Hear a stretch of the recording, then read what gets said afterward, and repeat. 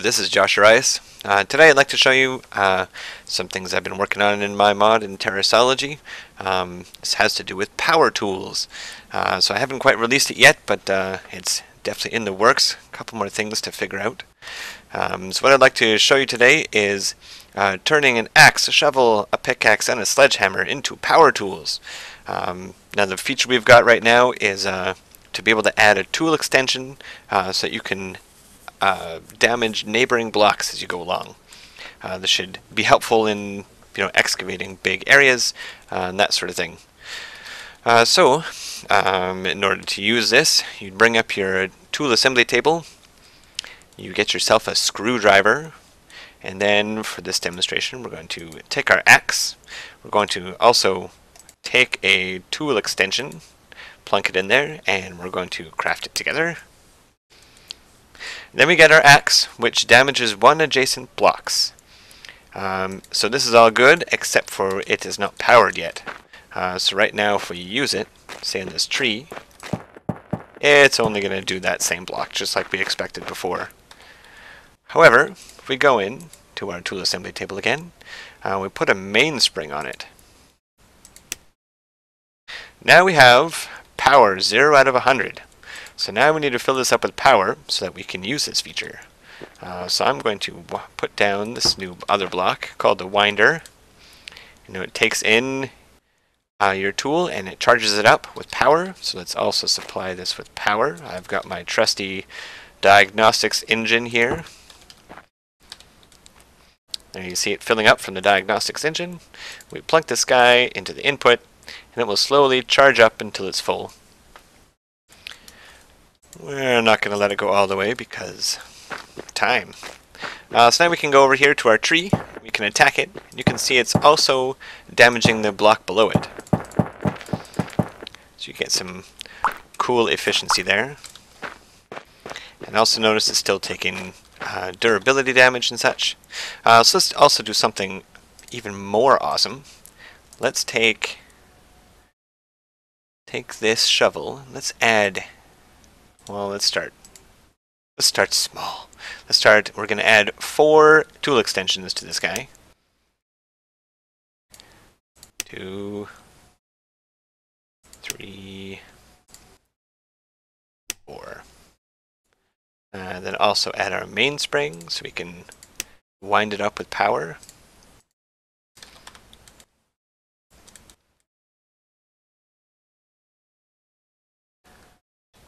Alright, got power. Now, when we use this shovel, say, on the ground, it will damage see the four adjacent blocks, starting down here and going around clockwise. Well, I guess you don't know it's clockwise, but as you add the, the different tool extensions, it you know, adds one more in that range. So now if we go in and add another tool extension, damages five adjacent blocks, dirt. So it also covers this bottom right corner as well. So if you want the full experience, you would add eight of these. Shovel. Six. Seven. Eight. So now we should get the full effect. Damages a whole bunch of stuff at once. Oh, and it missed that last damage. Perfect. Oh, we ran out of power. That's what happened. so our power got down to 3 of 100, so it stopped damaging neighboring blocks.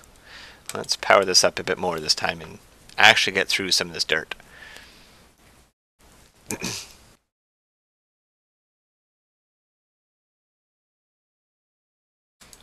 so something to note, every time you hit hit a block, it uses power. Uh, so we got 63, we hit it once. We've now got 60. Uh, and then every time you actually break a block, you lose uh, you lose durability.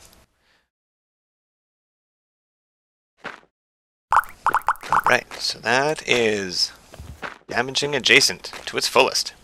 So we can also add this onto uh, a pickaxe or a sledgehammer, and you know pickaxe is good for mining uh, ores, and sledgehammer is good for digging into stone. Uh, so you can get you know, when you're underground, can be able to damage more stuff at once. get through that quicker, more quickly. Uh, so if we wanted to add more power to this, we could just keep on adding mainsprings.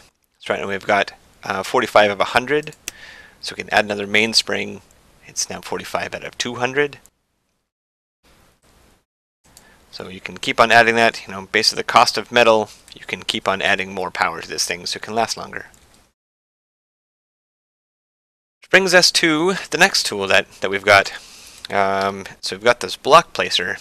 Uh, so in block building games, sometimes I get a little impatient with having to build bigger structures. Uh, so by using power, we can then place more than one block at once and hopefully help us build bigger structures more quickly. Uh, so we've got our block placer. Let's wind it up with power.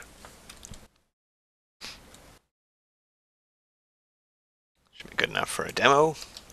Alright, so as you can see when you hold it, it gives a little selection box uh, saying basically where it's going to place blocks. So if we do it down here, it's going to do a big area. Now one thing to note, right now it's placing air blocks. Um, that's probably not what we want. Let's get it to place some stone.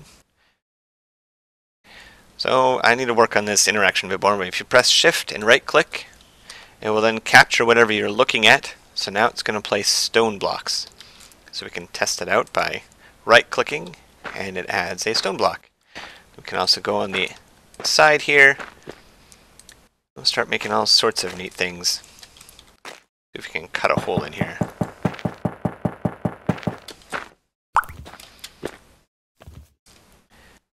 So can do cool things like, you know, building vertically. Let's actually get up a bit further so we can see what it's doing. so that'll fill in the gap there. That'll build it up. Yeah, so on the other additional feature, oh great, I fell down.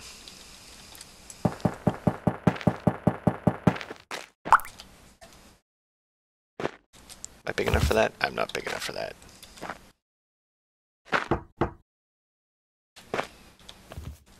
Uh, is uh, the other problem with uh, with building sometimes is uh, standing on a ledge and wanting to build, you know, outwards, wanting to build the the ledge outwards.